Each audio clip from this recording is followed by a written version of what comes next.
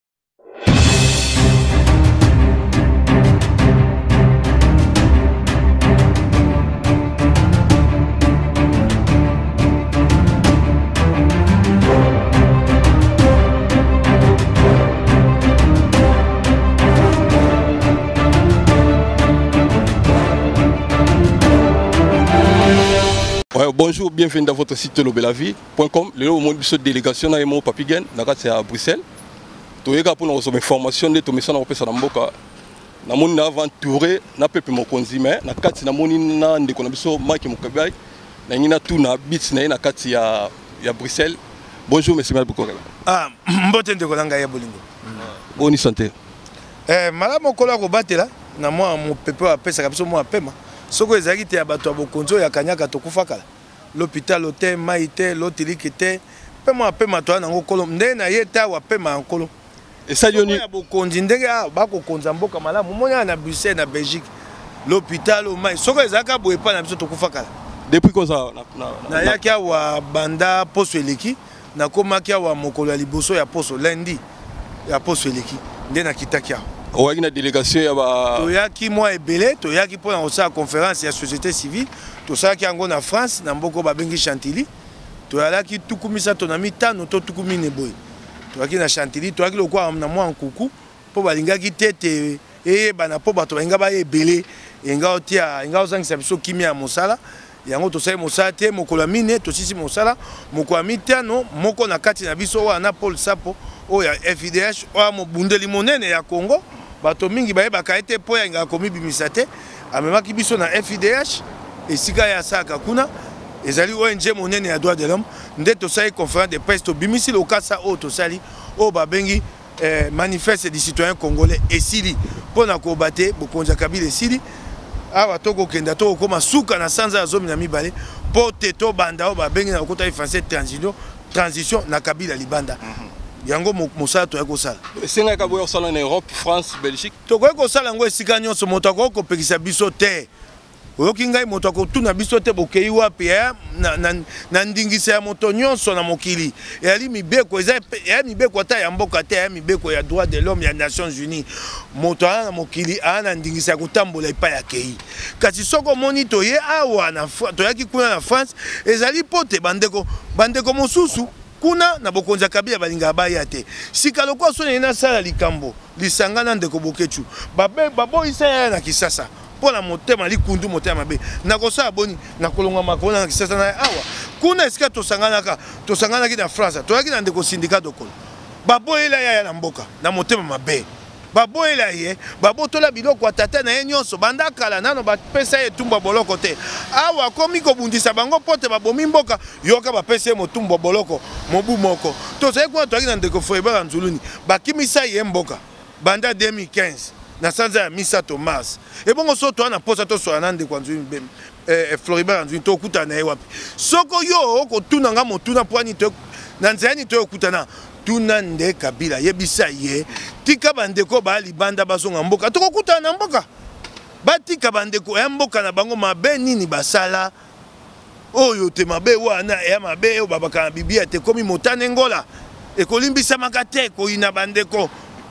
na, na, na, te na makasi ya ndenge wana yango wana tolongwaki mpo na koya kokutana na bango awa moto asalisi lingomba wana toya kokutana na nkombo na ye professeur andré mbata yamba ya liboso te asalisaka makita ya bongo na nkombo ya eloko na ye oyo babengi idgpa yango esaka recherche mpo na makambo ya demokrasi na makambo ya kimya na mboka tosi tokutana na mboka mbala eleki ata zomi toye tokutani toye tokutani na kisasa boyokaki mbala nsima nalakisa ondakisa ntango okotuna ngai bolongwa na mboka boyawa mbala nsima ndeko andre mbata abengisi biso tokende kokutana boyokaki lisolo wana toye na esika moko babengaka yango congo loisir toye kokuta batieli biso bato ane ah, soko nsima tobimi mboka tokutana libanda mabe mpo bolingi te na mboka tovanda tosangana tosolola yango wana ndeko andre mbata asalisaki yango tozalaka mpe na afrique du sud epai asalisaki yango mbaa mosusu aa ah, mpe toye koya yango eloko moko oyo yo okotunela nga motunana na komona yango te mpo oyo tolobi awa tokozonga na mboka tokende koyebisa yango bayi mboka tokosukisa yango awa te mais esika esika baninga bakobenga bino bakolabo bokopera na bino na bato ya gouvernement kasi yango wana mpo bamoni ke bino bokritika pouvoir en place mais bozwi bavo oyo babengaka na bavion boye nango ti na france a tranquille bozonga mpe tranquille yango omoni congolais akomo traite bino lokola bakulabo ndeko motuna wana ekosala nga mpasi mpe ekosekisa ngai minyoko oyo bato bakoyokaka na kisasa moto lokola ndeko eliezer ndeko daniel safu ndeko frank diongo ngai moko minyoko oyo tokomonaka na nzoto mpe na bomoi bato nyonso bayebi yango ya lisolo ya koya kobeta awa te nakoki koya kobeta lisolo te ya minyoko toko kuna kabila apesaka biso esengo te tokonyokwama bandeko bakobakola bo bayebi te songolo akotaka boloko te songolo basala ye boye mpo na etumba ya kosala mpo na etumba ya kobunda te floribe echebe ayebaka mata ye bomoi mobekenda bayebi yango te ndeko ya mpasi etumba oyo bato bakoba mosika obenga moninga kolabo mpo olingi koyeba te solo mpasi oyo baninga bakoyeba na mboka ndeko mpasi oyo tokoyoka na mboka okoyeba te nasali société na ngai nafutaka bato na suka sanza ngai mpe nabikaka na société wana moko mosusu te bakangi yango balobi na yo te esengeli te kokende kosolola na songolo mpo bafunga yango bite nakoya te bato babikendani kendanga bite Avocat akenda akei kuya basoye babi toya na likambo ya mabe na nzela na ye te tomoni mabe te kasi toyebisi ye te toyebisi ye kaka be likambo moko eya problème politique soki alingi aya toluka solution politique nalobi nakokenda te te lelo mosala na ngai ekufa wana ya monyoko te bato balingi banyoka babaka babaka ngai na ekuruse lokola yesu babaka daniel esafu na ekuruse bayoka moko mosusu te babomi moko na biso mpo bayeba te toya na mpasi toa na ntango te ndeko nabanza ya mbala suka oyo ngai na ye awa ya kolobaka natuna nga motuna babino ya kolabo ngai na natina koyanola na motuna wana te naa na mposa ya kokoba na etumba na ngai mokolo etumba ye kosila bayimboka bakoyeba oyo asalaka nini oyoki ngai lisitwale moto ekopesaka moto pete lelo te tobeta tolo mingi te lisi twala ekoyeba te oyo abundaka lisi twala ekoyeba te oyo aka moto ya kabila nasukisi be na koloba te baoyo bayebi te mokeba ya kolabo na mpasi oyo etumba oyo ekopesaka biso na kisasa abimisa misolo nazwaka atanga nkombo ya moto esika bapesa yanga misolo soki oyaka na compte apesa nimero ya compte wana suka eloba na ngai abi mama moboto aboti ngai ntango asali boloko sanza zomi na moko mokolo nabima boloko aye alela na lipeka na ngai mama mosusu akoyebisa yo yo mpe etumba yango omoni te bana omoni te mwasi na yo kende nibe kuna bapesa biso misolo kanyaka mama, eh, bapesa yo kanyaka mama na ngai alela na lipeka na suka ngai bana ngai na monoko ya mboka na ngai na, na monoko ya kasai abi uji chilobo abi ozali elombe bato babanzaki bakosukisa yo yo otelemi mpe olakisi bango okokoba lelo tokoswala na yo mama abotanga akufa na kunda ye mobu eleki ebongo na elakawa ya mama na ngai ngai naya kobuka yango nzambe ya likolo akolimbisa ngai molimo ya mama efanda na kimia tokende mbo mayike te esali yo ndenge nini komona yo entouré na pepe mokonzi nazalaki likambo omoni bokutani oyo ndeko wa yambo ayebi yango eh, nasepeli nano na koyamba oyo ayambi ngai na ndako mama didi moteka apesi ngai namoni mpe lokola naye na kisasa moteke na pondu nabi oyo oh, oh, kibabi te ah, mpe biso toliaka moteke na pondo ngai abe esengo mingi bokutani oyo nazali kolela yango banda kala esali mibu basanza tosolola be ya nzela ya singa a ah, ndeko mpasi na motema a ah, ndeko yoka boye awa a ah, mpe ngambo na biso yoka boye nazali kolela bokutani oyo mpo tosangisani mayele mpo makasi na biso eya na mbo moko te nde babaka te mosapi moko esokolaka elongi te tokutani tosololi tokaboli mayele ndenge nakokende nayebi oyo ngai nakosala kuna ndenge ngai mpe natikali bango mpe bayebi oyo bakosala awa kuna ndenge tokosala tokosala mpo biso awa topesa bango mpe mwa makasi hmm. bango mpe awawa bakobunda mpe batindela biso mpe mwa makasi kuna bokutani oyo ezalaki ya motuya mpo etumba oyo bango bakobunda awa na koyebisa bango nzela mosusu bango bayebi te na kisasa boni boni epesaka bato esengo mpo oyebi te diaspora telemaka makasi telemaka ya kosakana te kolela koba mikolo nyonso kisasa mpe kuna etelemi lubumbashi etelemi goma etelemi bukabu etelemi mikili ebele ya mboka etelemi matadi etelemi bokutani oyo ya loloko ya motuya oyo tosololi ya kati na biso nakoki koyebi biso nyonso te mpo mosusu aya oyo babengaka stratégie ekoyebana ntango tokokita ntango bango awa bakokita na terrain ntango biso mpo toyaki awa tokokita kuna na terrain na baprof andré mbata mosala tokobanda okoyeba ntina ya bokutani oyo kasi yebaka yango teya bokutani moko ya motuya eya bokutani moko babengaka lokota ye français historique mokolo mosusu bato oyo babetaka lisu itwale bakobetela bokutani oyo lisolo komande so nasepeli vraimen peuple mokonzi peuple mokonzi nani yango mokonzi ah, omoni peuple alobi komande so oyo eza deuxième fois ngai na yambo na émission na émission na ngai liboso na banda na mboka oyo ezalaki mpa na yo en tout cas esalaki mpe gaz ya kosakana te bato mpe basepelaki en tout cas merci beaucoup nakiai nao kote kuna euh, namoni toava basija olobela te nangi natuna yo journée ya le 21 le 21 août oyo ndenge ezalaki ke bato babima libanda bon nayebi te soki esalama yebe esalamaki te yo mpona olobani le 21 août bon, na vana kota na sujet wana na koapuye na koloba mwa moke peuple congolais euh, momoni toza na arme moko oyo kanambe na bantu na ye ya aner bakotisa awa ezali rimer bazotraite tout le monde collabo pourquoi parce que bayebi ke soki bavrai bana mboka basangisi mayele kosala force yango bomoni ke bato oyo baa na service ya kanambe biso tolobaka claire Apareco eza na service ya Kanambe. Esali tout ba diaboliser ba ndeko na biso baye kosala musala na bango pona mboka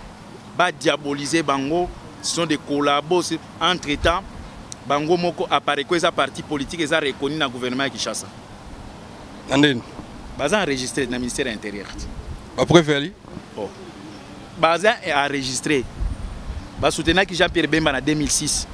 na cadre nini mpo azala na bato kuna te ayebisaki jean pierre bemba ekende na kosoutenir yo na nini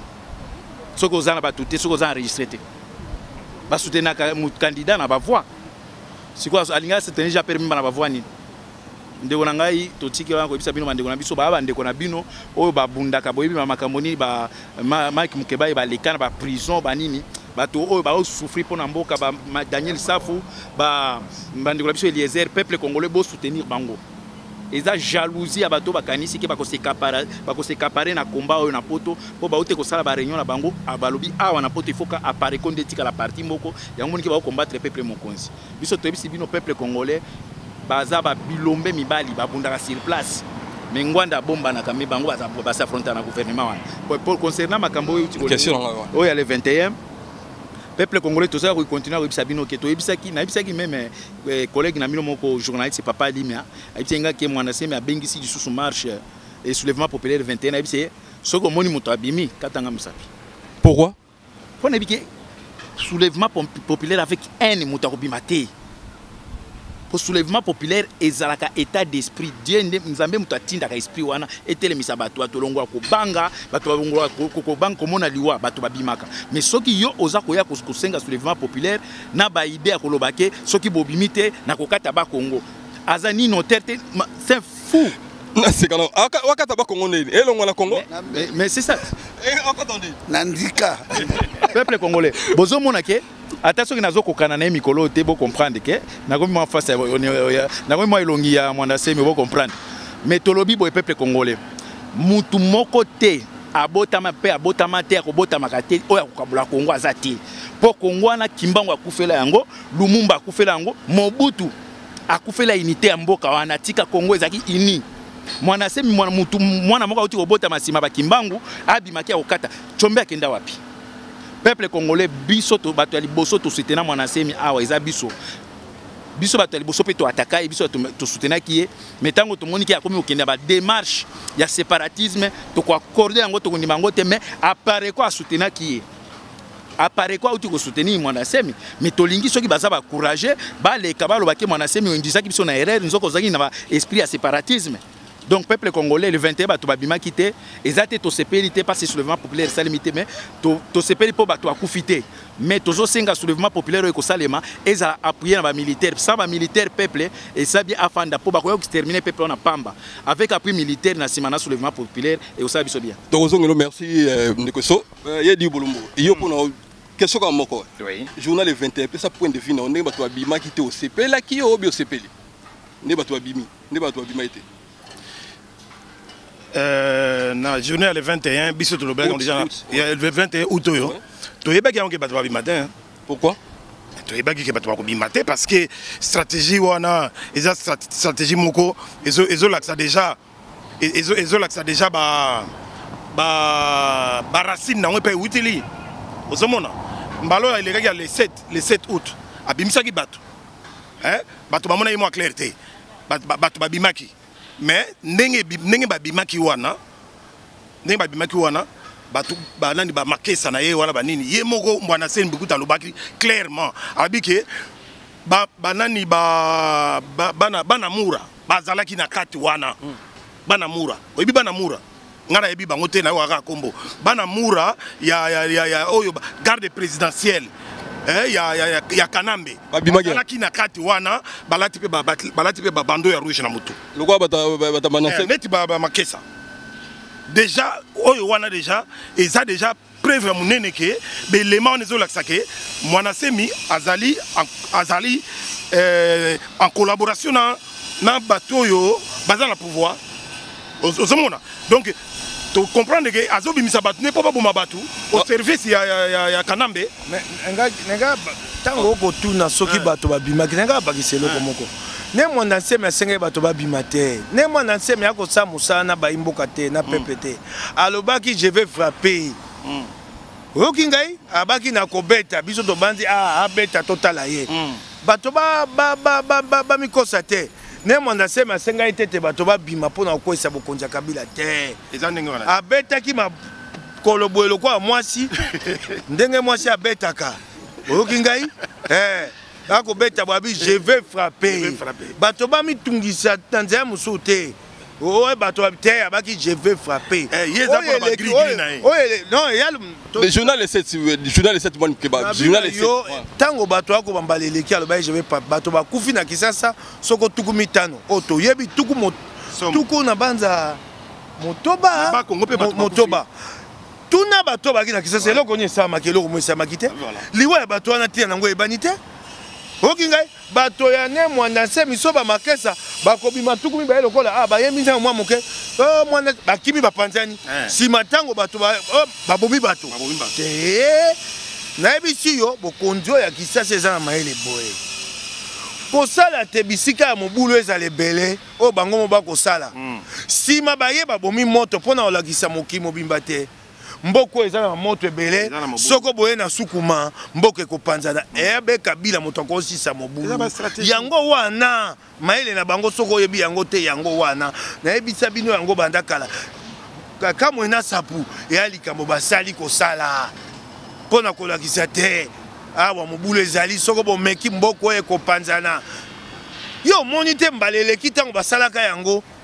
bato bakufi oyo ya lobi okobala le 21 tala bapanzi pulushi tala bapanzi mampinga sikoyo ekolakisa mondele nini ah bango nde baa na makasi ya kosukisa mm. moto ya mobulu wana moto ya mobulu wana napeso kaka elembo moko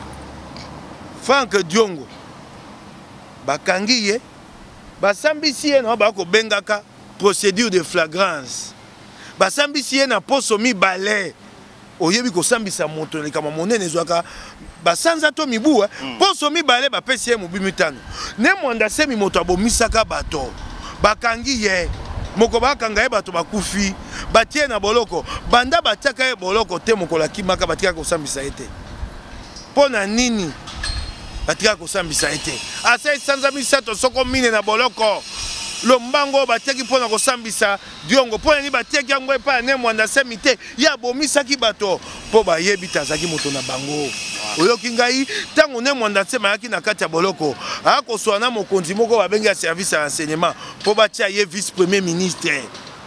nayebi na moto azalaki kokende okutana ne na boloko nsima kokutana na mokonzi wana oyoki ngai nayoki yo na moto ya boloko ya makalakala soko likambo esalami kuna esalami kaka be sikoyo na minute oyo kolanda babengi nga bayebisi ngai merci na réponse na wayambo eh. toyaka na journal 21 yo pesanga point de vue na yo mpo tosote na biso etape wana mwanasema oka le corbe renard na ndeni ah, me na be ye motaka na bagrenade andika eh? mpo olobaki je vais frapper fort abeti bamakese mais bandika wana mpo asangisa bandika bambila tout oyo mpe ekozala combien de beboko ya bandika donc tobi na bacongolais ife balonga na badistraction ya papamba tona besoin ya travail tosala travail ya malamu kanambi doit partir cette année tolingi distraction te diaspora tout ife bayeba yango ke ntango bino bozobundisa bato bazobundisa na solo boyebaki bozolinga barwandais bavanda wana toyebi très bien nauti koleka yango awa nazoyebisa bandeko na ngai papa eso na papa edi apariko na groupe ya bandeko na ye biso tokotangaka nkombo na yango lisusu te baza baventurier bino badiaspora boyebisa bato apariko oyo akomeka kotushe biso oyo akomeka mpo tokotala lisusu nkombo na bango te ba distraire bino lokola bino boyaka na eglize na bango kaka ya bamama olangi ya bakakenza ya ngalasi botikala amen perte de temps te navandaka awa 30 minutes 20 minutes natangaka honore ngwanda aleki tata na ngai te honore bana tu ya ngwanda ngai naleki bango me kobanda lelo awa omoni ngai nabomba elongi na ngai te bana na ngai namemaka bango na marche mwasi na ngai namemaka bango na marche ngai aza lider eh, papa mike mokeba lider komande so lider bino mpe boza balider tisekedi aza lider ntango akitaka abanda okita aokita na aéroport ya njili lider oyo amonanaka te peuple akotia na espoir te peuple congolais boza témoin diaspora partout dans le monde boza témoin biso tokotanga litwa na mosala ebele tokufeli plus de 13 millions de morts na momo tozoloba bamakili ezotanga partout na congo mobimba tokoki kolobelaka moto aye kodistraire bato te soki bato ya pariko bakendeki koatake daniel safu te daniel safu alingaka ntanga nkombo na bango te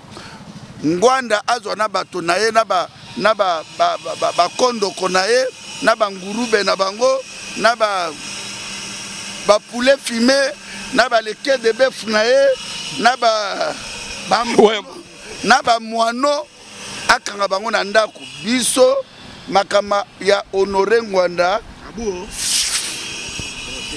toa na temps lisusu ya makambo honore ngwanda te toa na besoin eloko tolukaki baprofete ya mboka bango oyo sasa bavrai profete lelo bakongolais bakotanga genese ti apocalypse baprofete ya congo eza biso bato tozotatola solo biso tozoloba histoire te biso tozokoma histoire biso tozoba ti histoire te ke moïse akabolaka mai akabolaki mpo na israele o oh, jérémie alobelaka roi alobelaka mpo na peuple israele biso tozolobela mabele ya congo ekei epai ya barwandais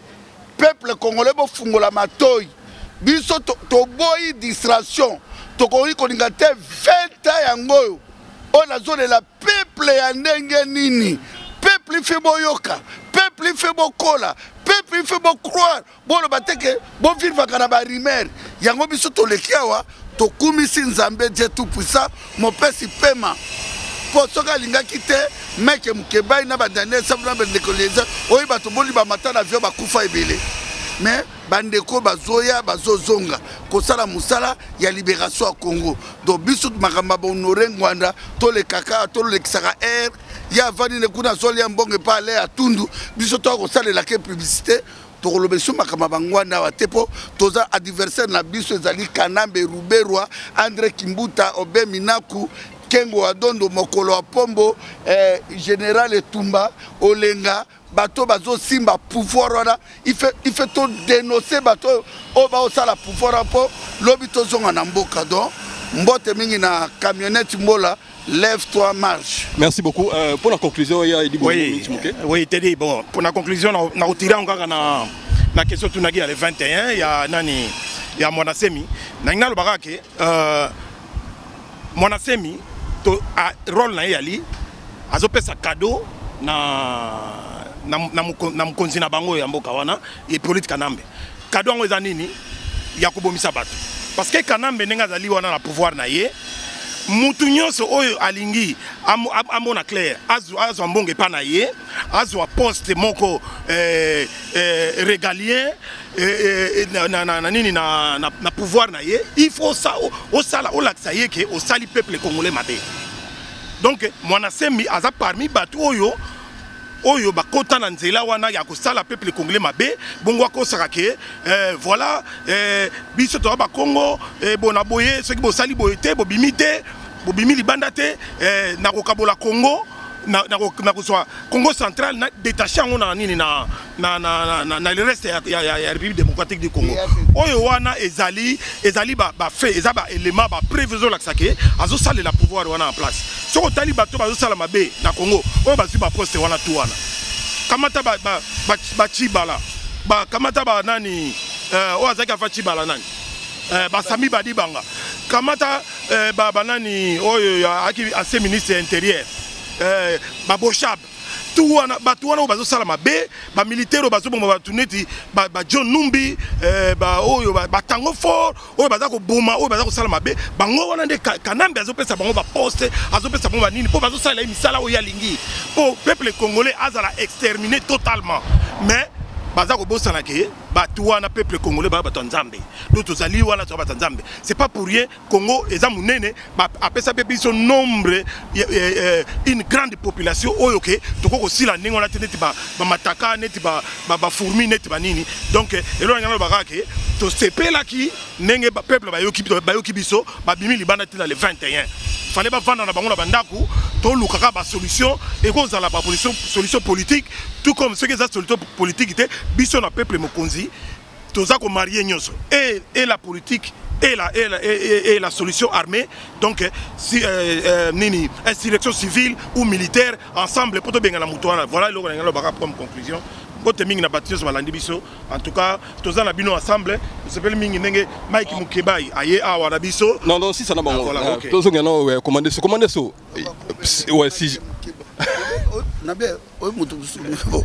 soki obotama na nkoma mabe eh? ta bakombo wana eh? yoka kombo mike mokebai mokebai ya mike ah. bon nabi bon tobandai na toconclure na biso mpo tosoti na biso sujet mosusu mpo na le 21 yo osepe nde bato babimai te non le problème eza kosepela te le hmm. problème il faut bato babima avec objectif ah. pa bato babima mpo baboma bango soki bato babimi bamosusu bakufi il faut quand même mboka ezala libere eza te tozosepela tolingi nde soki bato babimi avec objectif bamosusu bakwei me bamosusu bazwi nini eh, litomba ya makambo basalisa vedi liberation ya mboka omoni me eza te bato babimi bakufi me tozwi mpe eloko te eza ntina te ndeko na ngai apart ça mpe toza kocontinue toujours na koloba eh, bapaster congolais bosala tout bato baosofri na kasai surtout na ba, ba, peuple na biso akimi na angola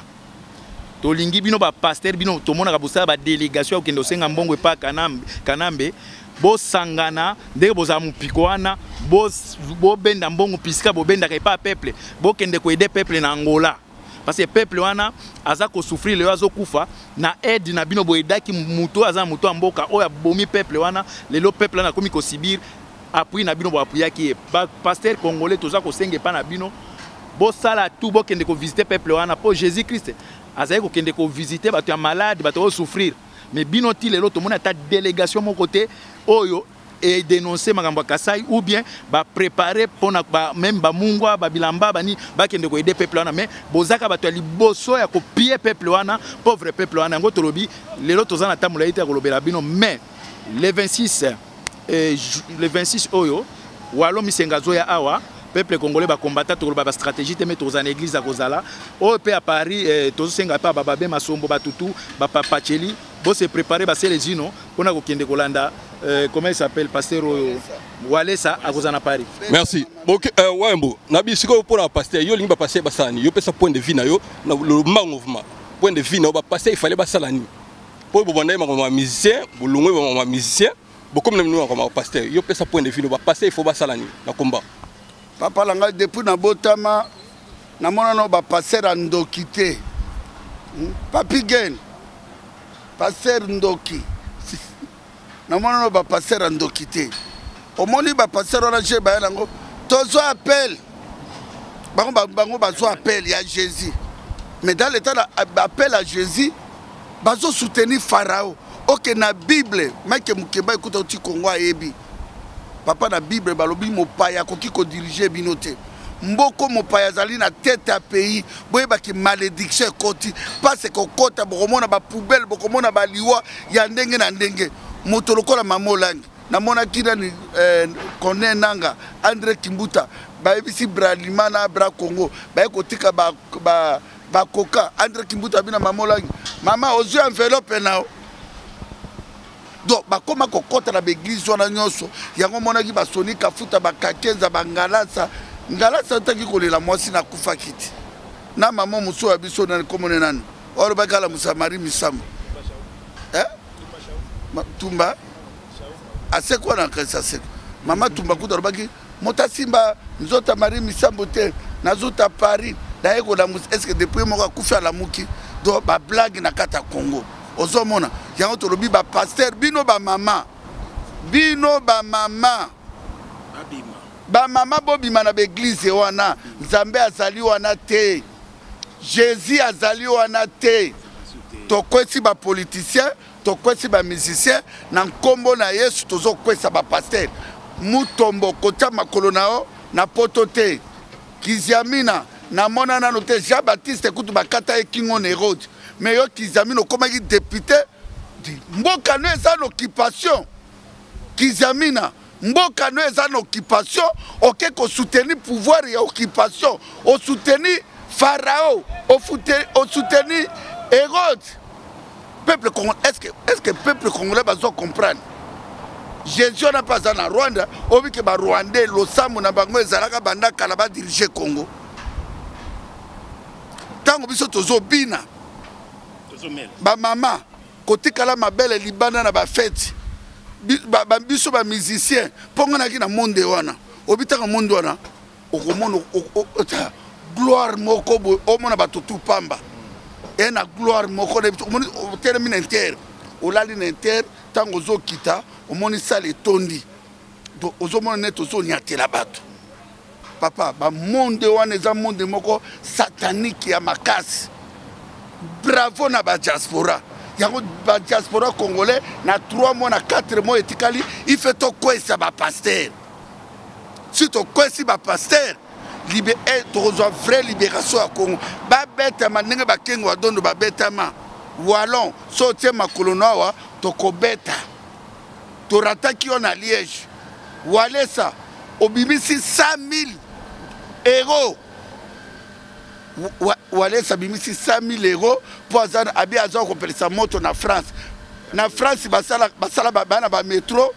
basalaka baavion moto nde okopelisa na, na, na france walesa moto ezopela na kasai moto ezopela na beni moto ezopela na équateur moto ezopela na kisasa pelisa moto plasi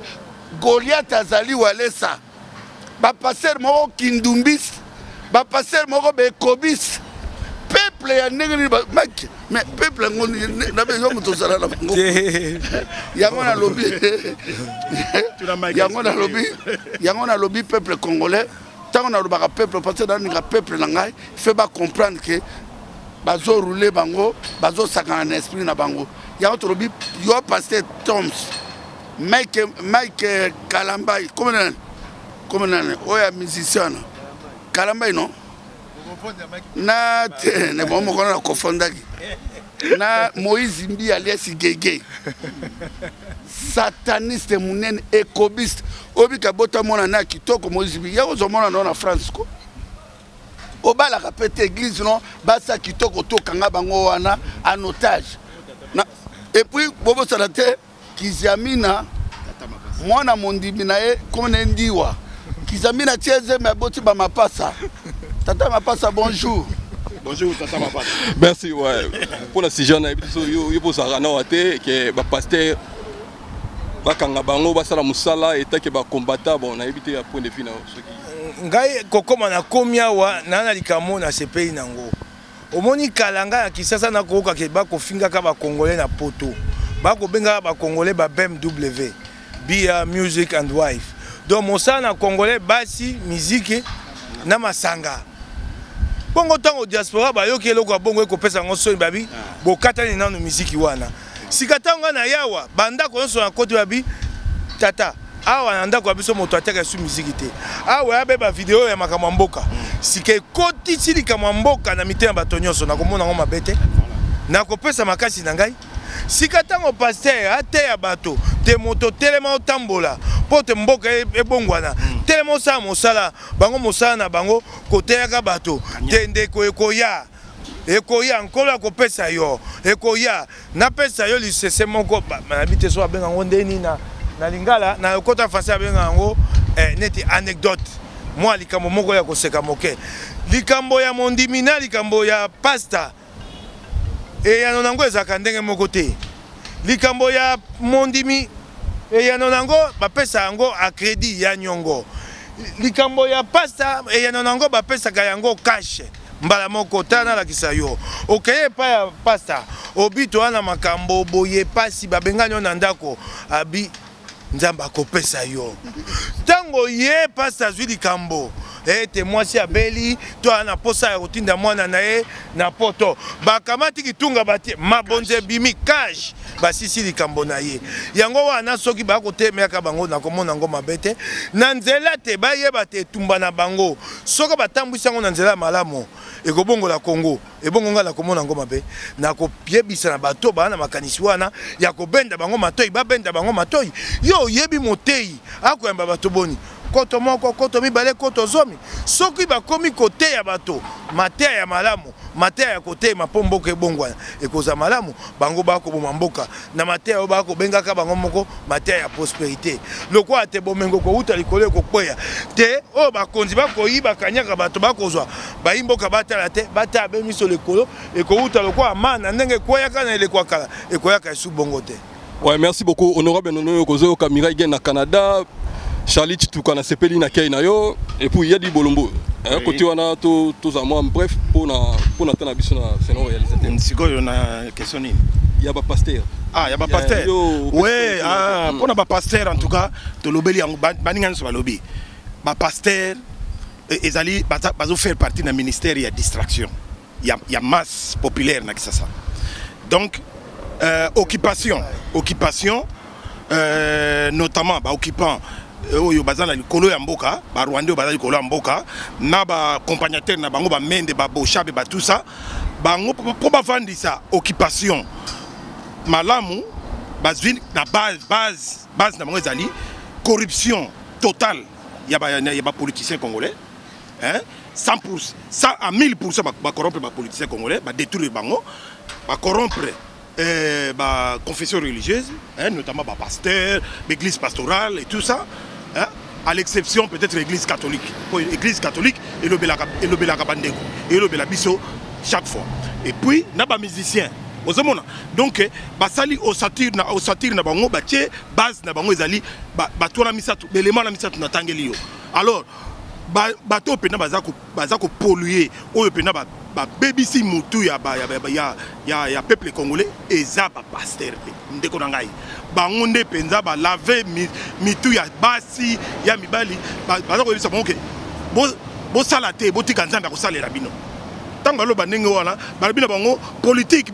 il faut pas s'en occuper laisser les politiciens faire la politique vous botalela kaka nzambe bokozwa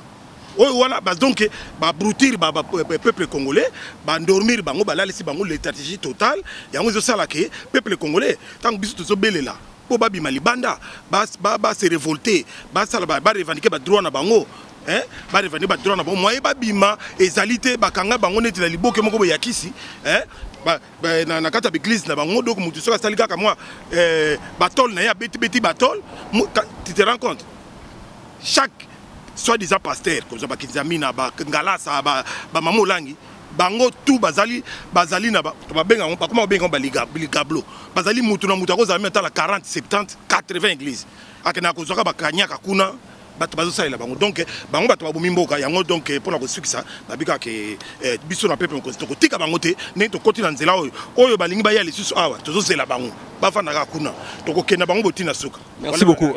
commande so mpo tosukisa biso résultat ya sali biso chine mwa liloba o oh, message eza kaka ya peuple congolais biso toza tozokoma histoire me bapaster bazotanga histoire oyo oh, bango basalaka wana eza bazotangaka mais biso tozokoma histoire parce que histoire oyo bango bazokoma bazotanga baoloba wana eza na bato basalaki ba action mpo bakoma histoire wana mais biso toza kosala histoire tozokoma histoire donc mpo nayebisa bino ke peuple congolais toza na mingi ya koloba lelo nanu te tokoloba continue koloba mais tolobi kaka bapaster toza na bino ndenge eza boye eza ebandeli biso boyebi ke tolembaka te ti tokokweyisa bino merci mike mokebela na moi journée ya suka lelo na 4 europe ozokende bon voyage mwa liloba na bandeko baotalo na kongo kuna ah, bandeko nakoyebisa bango mpe bazela to koyaka daniel sa faso akomaki to kozwa nzela na ndeko eliezer mpo toya kosala mosala oyo toya kosola awa na ndenge mpe tosoli na baninga ya pepe mokonzi napesi bango longonya mingi etumo babundaka bakoba se kokoba mayele oyo tokaboli ngai na bango tokobimisa yango na mboka mpo na koyeba kotelemisa bana mboka toya lisu na likambo mosusu te Totikali na likambo ya kotembisa bana mboka, kotia bokonzi oyo pembeni mpo te tosala maponomi, bokonzi ya sika eya, Kongo ebongana. Na kosenga bato bazala na boyambi, tolingana, totika koswanaka kati na biso, etumba na biso eyebani, eloko tokoluka eyebani, tokoba se na nzela wana nkolo abatela abatela bandeko oyo toya bango apepe mokonzi awa longonya mingi na bayi diaspora na bolingo bapesi nga na bolingo batalisi na congo na bolingo bapesi baninga toyaki na bango longonya mingi na bayi mboka basi batelema balakisa te baa na mpiko oyo moko ya 19 jamais 2015 ndenge bazongisaka kabeya na nsima kasi na kosenga mingi eloko okola kobatela eya oyo toya nango ya motuya koleka nyonso mingi mingi kola abatela yango abatela kongo merci waye moliloba suka mpo toclotire non liloba suka unité pepe congolais tozala bolingo ya biso na biso eh, monguna profite na badivision na biso te awa eza libanda awa toza na egypte totiki mboka bamisusu batiki mboka 30 ans 15 ans 20 ans 17 ans lelo mboka na biso toyebi ndenge ezotambola te tomonaka totindaka bamatanga bamisusu bamonaka bapapa na bamama na bango te tokomaka kokunda bibembe tala moko classe elingi ezonga awa baprofesseur na bamaître mbongo akofuta toyebi te soki classe yango na congo ekozonga nyonso elo ezolakisa ke notre pays bien aimé le congo zai toza na occupation donc nzambe abatela eh, bato nyonso baza kotia biso na bapriere biso tokodecevoir bino te mpo touti na bitumba oyo mosika ezala bamaike mokebai Peuple congolais tokola tolongwa na ba rumeur moto oyo ale mbongo moto awa aza te tolobaka tu toyaka kaka kojutifie tokomi lokola bana mike oyo ayebaki ke ngai na na mbongo ya moto ube nazwaki bapesaki ngai nimero ya cote ndenge elobi papa mike mokebai bolekaka nango mpe na baemission bolakisaka nyonso wana eza badistraction ya komeme tomonaki yango bato babundisaki ta ndenge babundisi tshisekedi wa mulumba ta ndenge babundisaki bakosaki maréchal mobutu na bato basalaki na ye tomona yango na bipa ba moïse tomona yango do rimer ezalaka na yango kaka biso totikali localise na biso tozotravaille sikoyo na bamake mokebai mpona komobilize peuple esprit na biso ezala direction na congo mpo na kolibere congo mbote mingi na mama didi asuta mabolongo eyinda nzambe apambola yo Totikala unis. Mbote mingi na beau frère propre Engambe Saya Soba na Londres. Mbote mingi na camionnette Mbola lève toi marche. nayebi ke nzambe na biso na kondima na biso abaki soki toa na foi tokodeplace bamontagne donc na remercie papi gen na remercie moko edi eh, edi mbola tedi mbola eh, tedi mola tolobela vie vie na biso eza très compliqué vie na biso ezo marché te na momo tovandi ya bandeko na biso na angola moto azotala bango aza te bazonukela mbula bato lobi balalaki na bandako na bango bakomolala libanda likolo ya intérêt ya bato moko boye merci mingi na badiaspora partout dans le monde na lisolo nazongeli kaka ke biso na peuple mokonzi tokotangisi nkombo ya honore ngwanda te na bato na ye diaspora congolais babenda bato na bango matoi oyo akomeko touche oyo akomeko touche ya mbala oyo